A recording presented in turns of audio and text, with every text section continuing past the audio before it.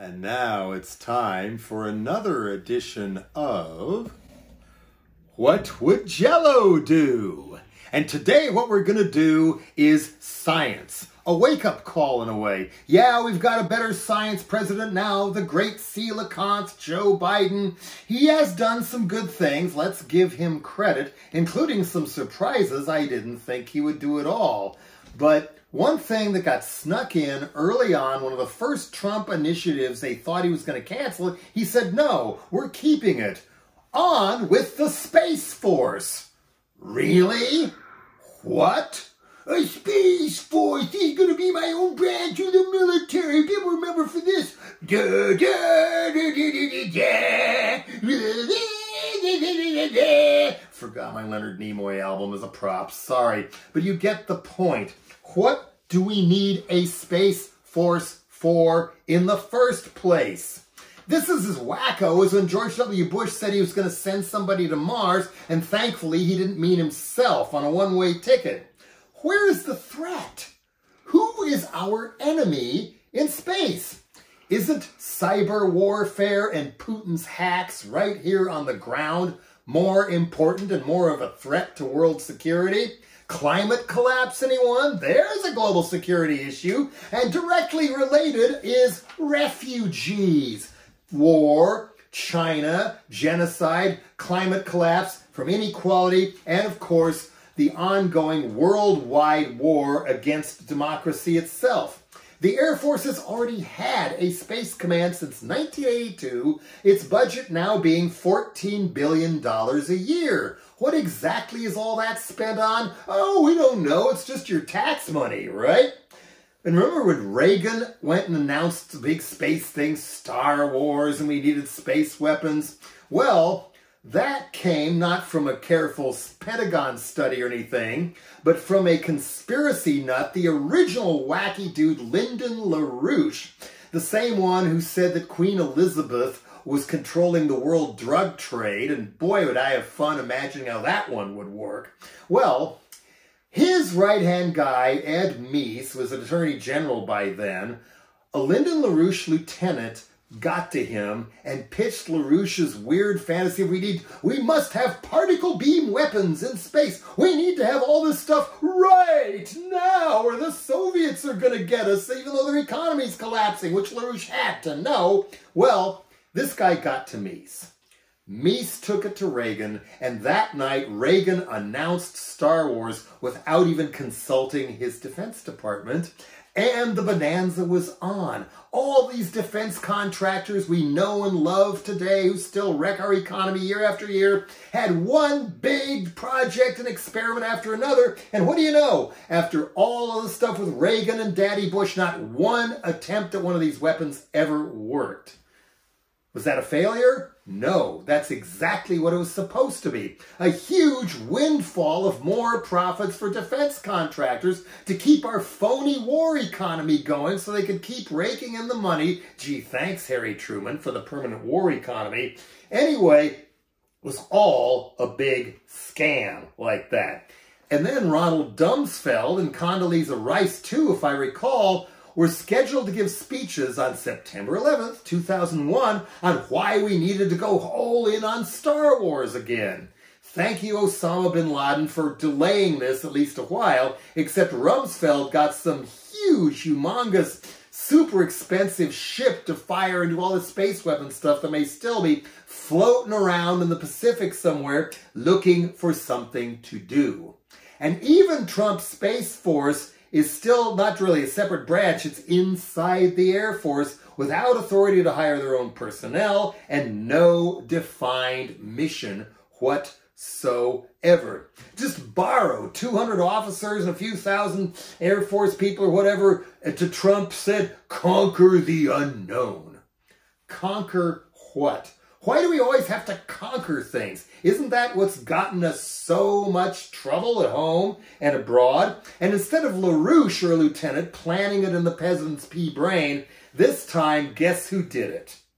According to the New York Times, it was your friend and mine, the most toxic figure in the entire Trump regime, Jared Kushner. Yeah. So, toadying along, December 11th, 2019, although I think it was the whole defense bill, the House passes Space Force 377 to 48, which included 188 Democrats, including Adam Schiff. And then the Senate on December 17, 2019, passed the same bill 86 to 8. Yeah. So, to go boldly go where no one has been dumb enough or crooked enough to ever try to go before, then what do they come up with? But the Space Force logo, which was a direct ripoff of the Federation of Planets logo from Star from Star Trek. And even Ben and Jerry's gets into the, here we go, here we have Boots on the Moon, Space Force Ice Cream. I guess it was a Netflix show too, but it came out right at the same time. Space Force works to get Boots back on the moon. This cosmic concoction will launch your dreams into orbit with fudgy astronaut cows and toffee meteors. Oh, boy.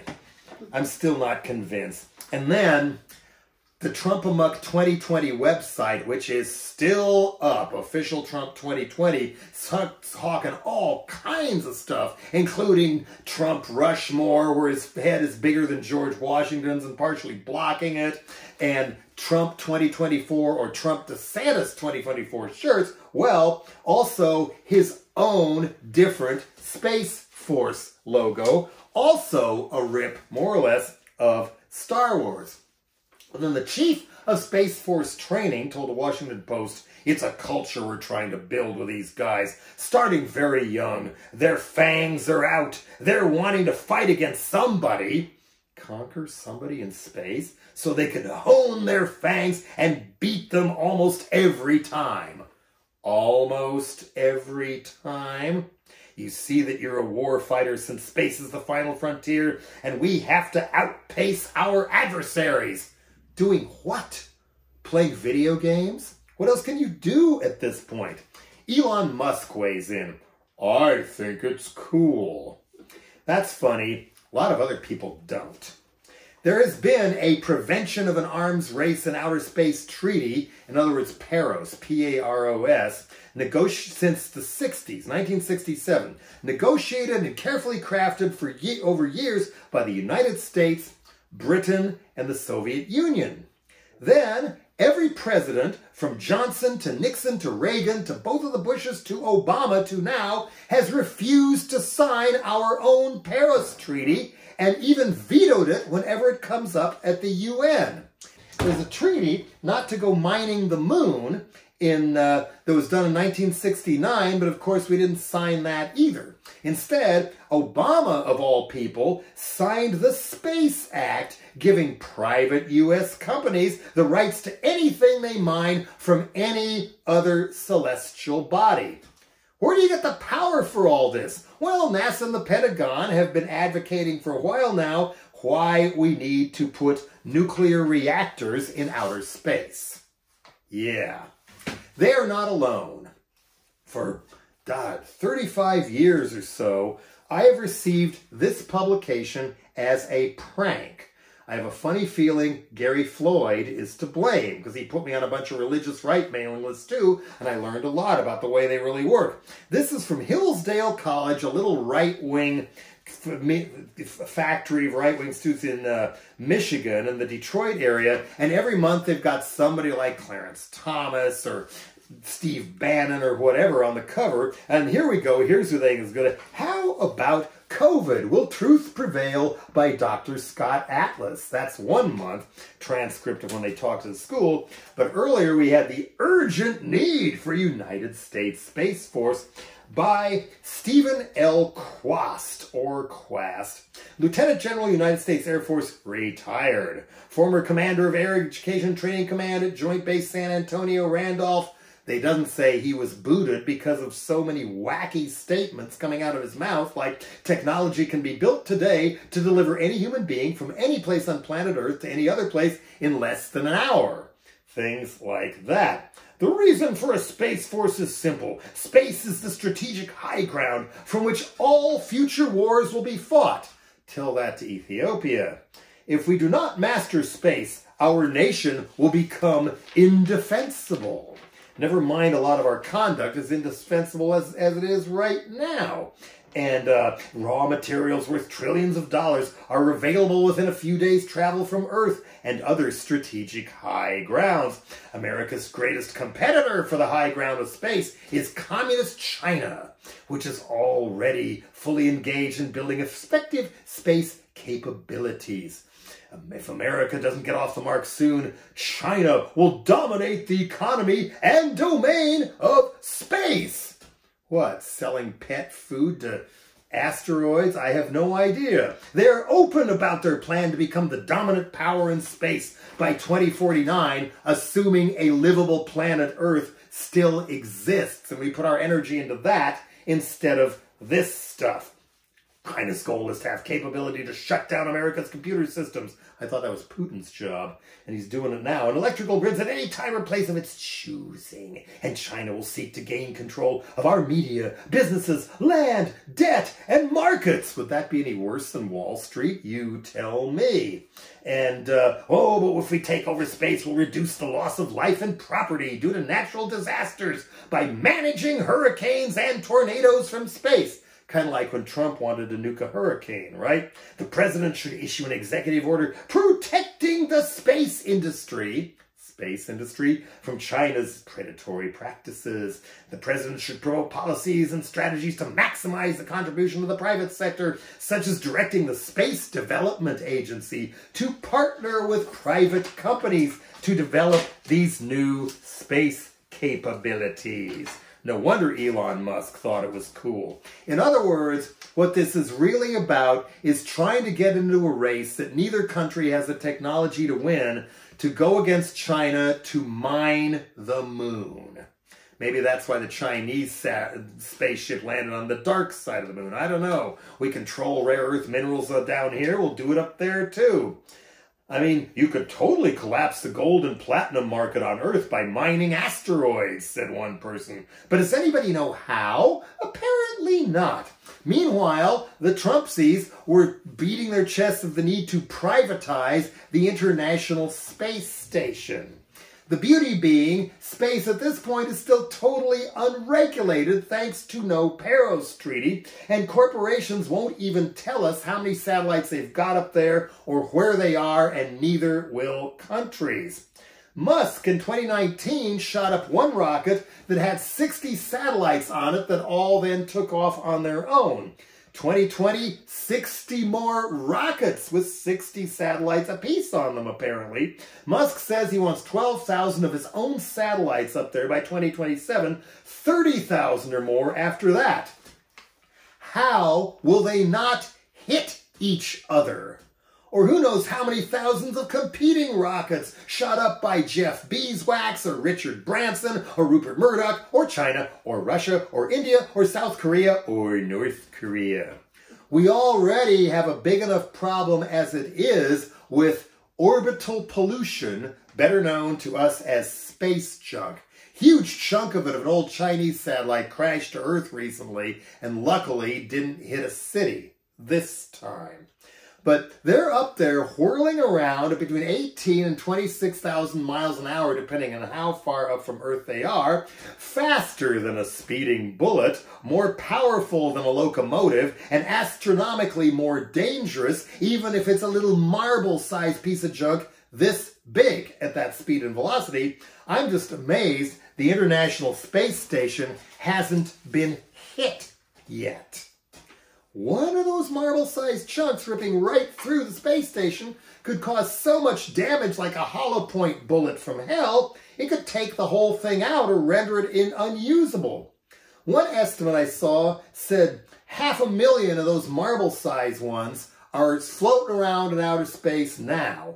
Another said, no, no, it's closer to a million. And there's 128 million little specks, less than a centimeter big, still flying around where they shouldn't be, and 34,000 chunks of shrapnel, or large debris as they call it, including satellites that burned out, and then we just left them up there, estimated to weigh around 9,300 tons already up there.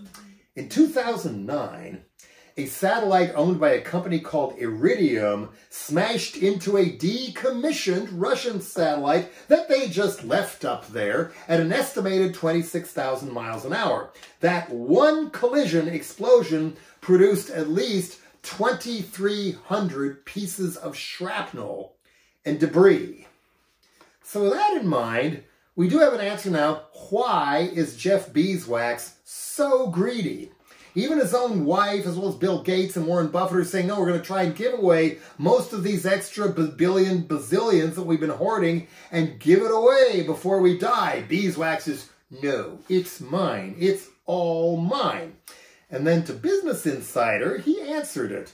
The only way I can see to deploy this much financial resources is by converting my Amazon winnings, winnings he calls them, into space travel.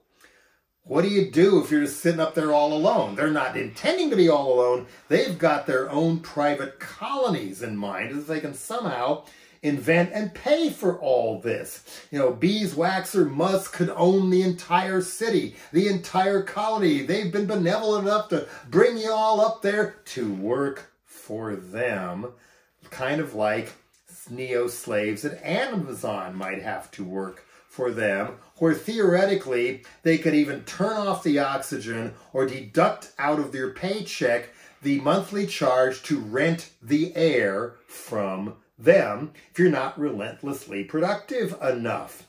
Crime? There'll be crime in something that big. Estimated cost of keeping somebody in jail on Mars is a billion dollars per person per year. What are they thinking? I mean, with that level of recklessness on the part of Elon Musk and Jeff Beeswax expending to spend all his fortune putting more potential space junk and collisions up there, who would you rather have corner the rare earths market in space? China or Elon Musk? China or Jeff Bezos? China or Vladimir Putin? Or his magic hackers? As Marcus Durant, the old singer for Zen Guerrilla and Wayne Kramer's MC50, said to me, this sounds like Jim Jones on Mars. I thought that put it very well. So all I can say is heed the words of Edgar Mitchell, a one-time one of our astronaut corps, the sixth man to walk on the moon, who protested Star Wars at Cape Canaveral NASA headquarters clear back in 1989 pointing out that one Star Wars episode, so much space junk and shrapnel would be created from all these things blowing each other up all there and hitting each other, you could never get another rocket off the planet again, even if you do have as big a smile as Richard Branson. No, you couldn't, you would mean activity on Earth that relies on satellites would pretty much shut down, according to Mitchell. Cell phones, ATM machines, cable television, traffic lights, weather prediction, and more, all hooked up to satellites, would all be lost. As it was put here, modern society would go dark. Is that worth risking all these bazillions just to keep China from mining the moon so the price is a little higher than, say, Rio Tinto or some of the other mining companies that our, our people would control? We kind of need to put the brakes on this before there's even more crap in space and for not peaceful purposes. Number one, Mr. President, oh great Coelacanth, cancel the Space Force. Shut it down, decommission the whole damn scam now. Sign the Paros Treaty. Even be the one to propose it this time in the UN and then start amending it to reflect the newly reality and technological advances. But get that thing on the books first for crying out loud. And for Elon Musk and Beeswax and Branson and the rest, how about putting that money towards the technology we need to send up in space to collect and dispose of all that space junk before something really, really bad happens, which would make Chernobyl or Three Mile Island or Fukushima look like just stepping in a puddle on your kitchen floor. That's what our security really depends on.